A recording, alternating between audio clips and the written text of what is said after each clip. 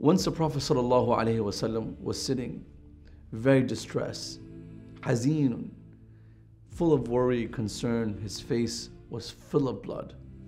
All around you could see bruises. قد خضب وجه بالدماء بما فعل أهل مكة because what of what the people of Makkah had done to him, physically abused him, emotionally destroyed him.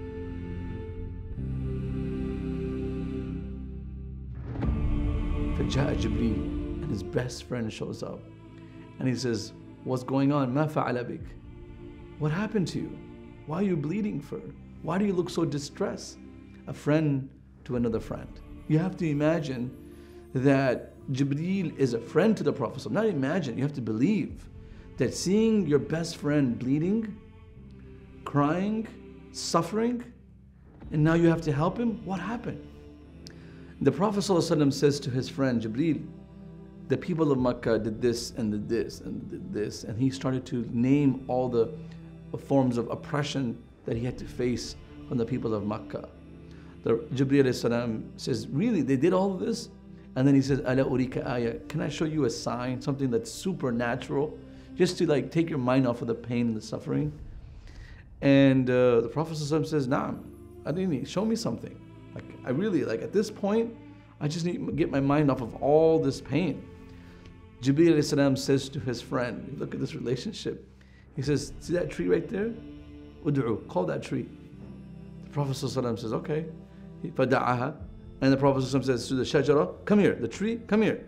The tree rips through the ground. فَجَعَلَ خَدُّ الْأَرْضَ خَدَّ It starts to rip through, the roots start ripping through the ground and it literally stands in front of the Prophet Muhammad All the pain that he's going through, now this amazing, you know, powerful experience.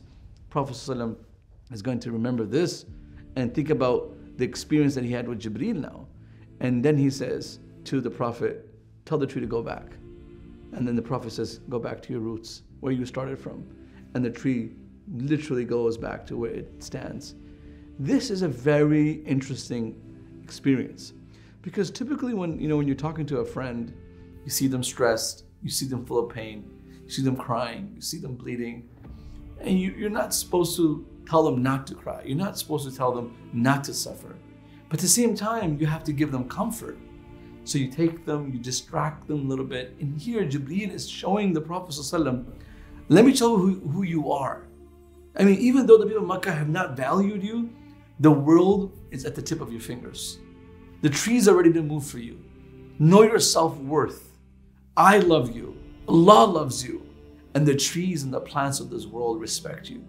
So don't lose any confidence and know that we're behind you. What a friend to have in times of distress.